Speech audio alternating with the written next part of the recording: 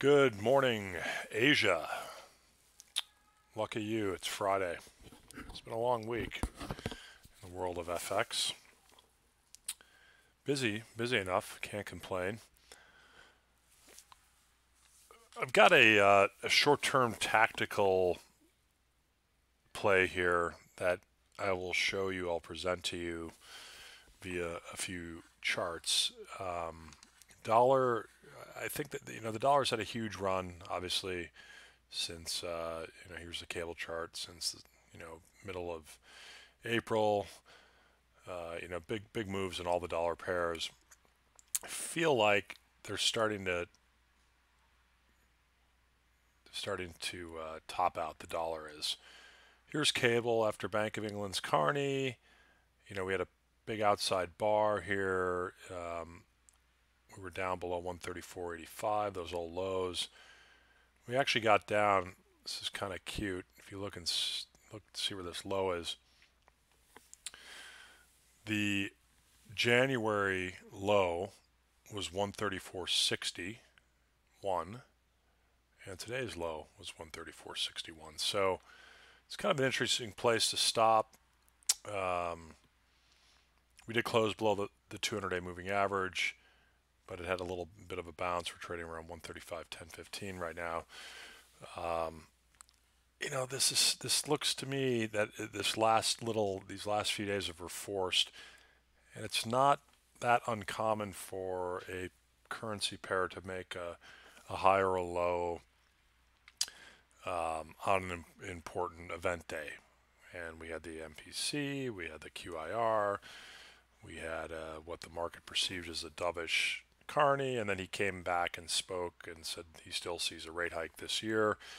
Uh, a lot of the banks have, have put out reports today saying that they don't see any rate hikes till next year, or perhaps they're even done with the hiking cycle.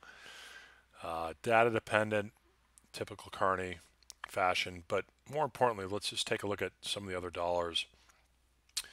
Why don't we start with dollar EM? Because if you remember, uh, when we became bullish um, became bullish. We started becoming bullish a dollar way back here again on the 17th. We had this little reversal bar higher in dollar MEX, and, and it you know went up 170 points basically. That led the that started leading the other dollars. You see this very ugly three-day pattern, a green bar, doji type bar off of 1870. Huge down bar today. Um, a couple banks have come out with short dollar MEX um, recommendations. Dollar Turkey, similar reversal lower day, another lower day today. So again, you know, and for me, this this level right here, 420, is huge in in dollar Turkey. Uh, dollar Rand, kind of a doji-ish type day, big down day today. A lot of the dollar selling was on the back of the uh, slightly weaker CPI um, so you're, you're, we're starting to see some reversal type patterns uh, that are negative the dollar. Here's Kiwi after the RBNZ, which I didn't think was all that dovish. I'm a little bit surprised it got all the way down to 69. It did come back up and close at 69.65. Um, you know, it's a big tail here. Um, I thought maybe we'd get a test of this low weekly close of 2017 down here 68.18 at some point.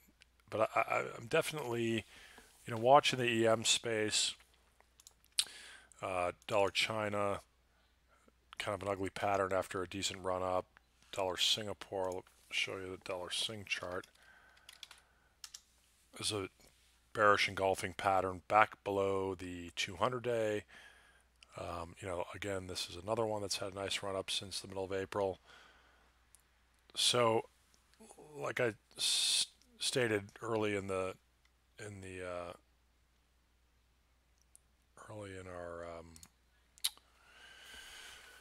broadcast, is that I, I feel like the dollar's maybe in the short term is due for maybe a one or two percent sell off. Um, again, there's a Kiwi dollar. Here's Aussie. Aussie closed very strong. This is a bullish pattern right here, three-day pattern. Um, Euro, I, I really don't know what's going on with the Euro. Cable looks like it's kind of done enough. I mean, it's been a massive move from the 143.70 area all the way down to 134.60 today.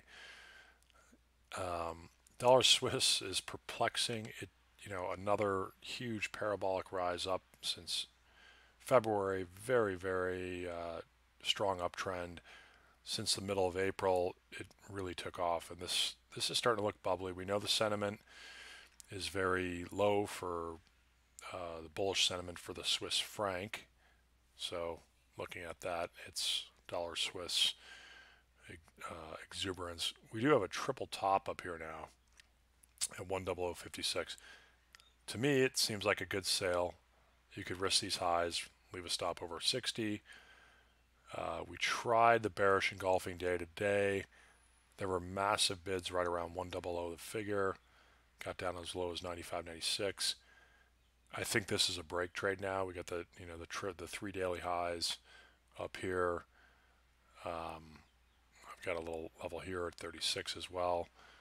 Uh, I could see this correcting. So if my thesis proves correct with uh, a tactical dollar sell-off, you know, kind of a one to two percent move, and then I could see this going higher again. Um, this would be the day that I would say it, it's ready to make, you know, start a bit of a correction. Uh, no real economic data tomorrow aside from uh, Canadian jobs. Here's another dollar pair that, you know, dollar CAD came off from that 130 area and then had two big down bars. Uh, you know, I could see if they get an in line to stronger Canadian jobs number, there's no reason why we can't uh, retrace this move so, you know, pretty quickly. Canadian dollar definitely seems strong relative to uh, some of the others. Let's see if we can get this fib over here. So we've done just over half retracement. 127.06 and 126.35 are the next two fibs, and we got the 100 day, the 200 day moving average uh, right in between the two thirds and the three quarters. So, kind of rolling over momentum wise. Um, again, calling for a uh, you know kind of a one to two percent correction over the next week in the dollar.